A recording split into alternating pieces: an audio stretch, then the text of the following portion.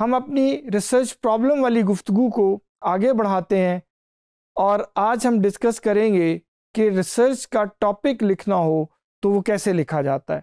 और जैसे हमने पहले ज़िक्र किया कि रिसर्च प्रॉब्लम लिखने से हमारी मुराद ये है या स्टेटमेंट ऑफ़ प्रॉब्लम या टाइटल ऑफ़ प्रॉब्लम लिखने से हमारी मुराद ये होती है कि किन अल्फाज के साथ लिखा जाए तो पढ़ने वाले को बेहतर समझ आ सकता है।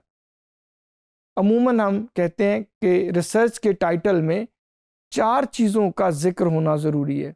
अगर ये चार चीज़ें शामिल कर दी जाएँ तो रिसर्च का टॉपिक मीनिंगफुल हो जाता है।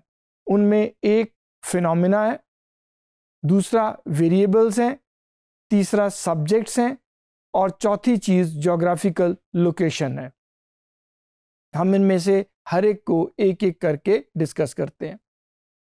सबसे पहले अगर हम फिनोमिना की बात करें तो आप अगर रिकॉल कीजिए, अगर आपने रिसर्च के टॉपिक पढ़े होंगे पब्लिश पेपर्स पढ़े होंगे तो अमूमन उनके टाइटल का आगाज़ इस तरह के किसी लफ्ज़ से होता है, जैसे इम्पैक्ट है इफ़ेक्ट है रिलेशनशिप है कंपैरिजन है।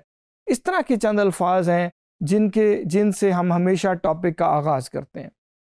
शायद ही कोई आपको टॉपिक ऐसा नज़र आया हो जिसका आगाज़ इस तरह के किसी लफ्ज़ से ना होता हो।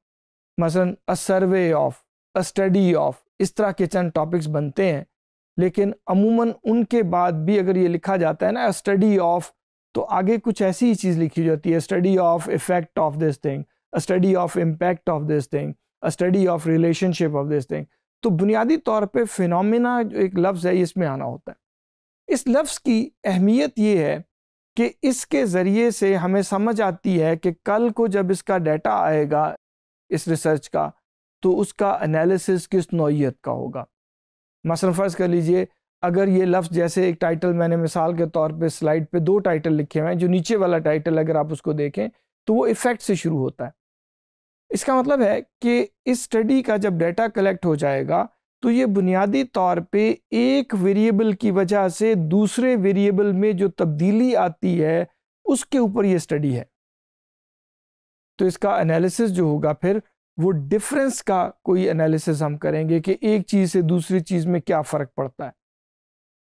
इसको, इसका मतलब है कि इस लफ्ज़ को पढ़ते ही रीडर को और आपको ये समझ आता है कि आपने जब इसका एनालिसिस करना होगा तो एनालिसिस वाले चैप्टर में अमूमन वो वाले टेस्ट या वो वाले रिजल्ट्स मुझे नज़र आएँगे जिनका ताल्लुक डिफरेंस निकालने से होता है। इसी तरह अगर यहाँ रिलेशनशिप का लफ्ज़ लिखा होगा, एसोसिएशन का लफ्ज़ लिखा होगा तो उस लफ्ज़ से मुझे पता चल जाता है कि टाइटल में किस तरह का आगे एनालिसिस वाले चैप्टर में किस तरह का एनालिसिस नज़र आएगा। सो इसकी अहमियत देखें, सिर्फ़ ये नहीं है कि आपने एक टॉपिक की स्टेटमेंट बना दी। जब आप फिनोमेना डिक्लेयर करते हैं अपने टॉपिक में तो असल में आपके जहन में ये वर्किंग हो चुकी होती है, या ये प्रोसेस आप तय कर चुके होते हैं कि इसके आने वाले डेटे पे किस तरह का एनालिसिस होगा। ये भी तयन हो चुका होता है इस लफ्ज़ से कि आपके जो ऑब्जेक्टिव्स और रिसर्च क्वेश्चंस या हाइपोथेसिस बनने हैं, वो किस नौीयत के होंगे। अगर मेरा टाइटल में फिनोमेना डिफरेंस से रिलेटेड गुफ्तगु है रिलेशनशिप की गुफ्तु नहीं है तो इसका मतलब है मेरे ऑब्जेक्टिव्स भी इसी नौीयत के होंगे और मेरे जो रिसर्च क्वेश्चंस या हाइपोथेसिस बने होंगे, उनमें भी मैं जाके फिर गुफ्तु डिफरेंस निकालने की करूँगा और सो सो ऑन आगे एनालिसिस में भी। सो लिहाजा इस लफ्ज़ की ये अहमियत है। इसके बगैर आप ट्राई करके देखिए कि कोई टॉपिक बनता है आपसे। आप कोशिश करके देख लीजिएगा, बैठ के लिखते रहिए आपसे कोई भी टॉपिक इस मामले में नहीं बन पाएगा। अच्छा अब इन अल्फाज के इस्तेमाल को अगर हम देखें तो ये एक लंबी लिस्ट है लफ्ज़ों की, जिनमें से चंद एक मैंने वो लिखे जो बहुत कॉमनली इस्तेमाल होते हैं। इफ़ेक्ट है इम्पैक्ट है analysis comparison relationship description of something मुख्तफ अल्फाज शुरू होते हैं। जब तक आपको इन लफ्ज़ों के इस्तेमाल से पहले इनके अंदर फ़र्क नहीं पता तब तक आप आगे जाके अपने एनालिसिस में या ऑब्जेक्टिव्स और हाइपोथेसिस लिखने में भी बहुत क्लैरिटी पैदा नहीं कर सकते। मसलन अगर मैं मिसाल के तौर पे आपसे पूछूँ कि आप जब ये लफ्ज़ पढ़ते हैं इफ़ेक्ट और इम्पैक्ट तो आपके ख्याल में इनमें क्या फ़र्क होता है?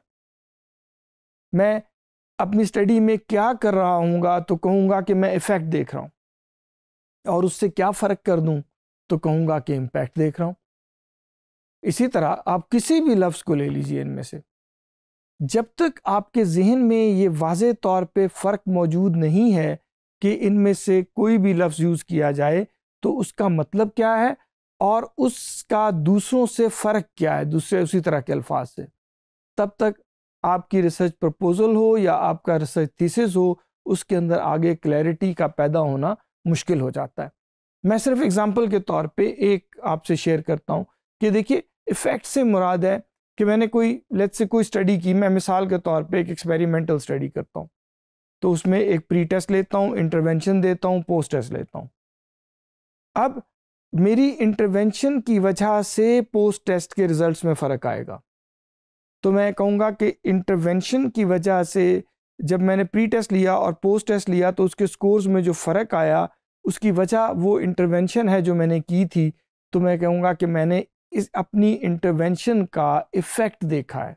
और अगर फ़र्ज़ कर लीजिए कि मैंने पोस्ट टेस्ट ले लिया और उसके बाद कुछ अरसा फिर कोई ट्रीटमेंट नहीं दी, कोई इंटरवेंशन नहीं की और फिर कुछ अरसे के बाद जाके दोबारा टेस्ट लेके देखा कि जो चेंज आई थी इंटरवेंशन के नतीजे में, वो कितनी स्टे करती है, कितनी बाकी बच गई है, ये उतनी है या कम हो गई है, ज़्यादा हो गई है। अब दूसरी दफ़ा जब मैंने जाके उसको मैयर किया तो उसके दरमियान वाले टाइम में मैंने कोई इंटरवेंशन नहीं की। लिहाजा इसको मैं अगर दूसरे अल्फ, अपने अल्फाज में कहूँ तो यूँ बनेगा कि इफ़ेक्ट जो है वो इंटरवेंशन का इमीजिएट इफ़ेक्ट है और इम्पेक्ट जो है वो इंटरवेंशन का सस्टेन्ड इफ़ेक्ट है कि इंटरवेंशन देने के फ़ौर बाद नहीं बल्कि इंटरवेंशन को ख़त्म कर देने के बाद भी देखिए कि इंटरवेंशन के नतीजे में जो चेंज आई थी क्या वो चेंज स्टे करती है उस दौरान भी जब आप इंटरवेंशन नहीं दे रहे होते? सो so, अगर आपकी इंटरवेंशन का इफ़ेक्ट इंटरवेंशन विड्रॉ करने के बाद भी स्टे करता है और आप इसको देखना चाहते हैं कि कितना स्टे कर रहा है या नहीं कर रहा हम कहेंगे हम इम्पैक्ट देख रहे हैं। अदरवाइज़ इंटरवेंशन के फ़ौर बाद देख के अगर स्टडी क्लोज हो जाएगी तो इसको कहेंगे कि इफ़ेक्ट देख रहे हैं। सो so, इसी तरीके से नीचे जितने भी अल्फाज लिखे हैं इनके आपस में बड़े वाज फ़र्क हैं।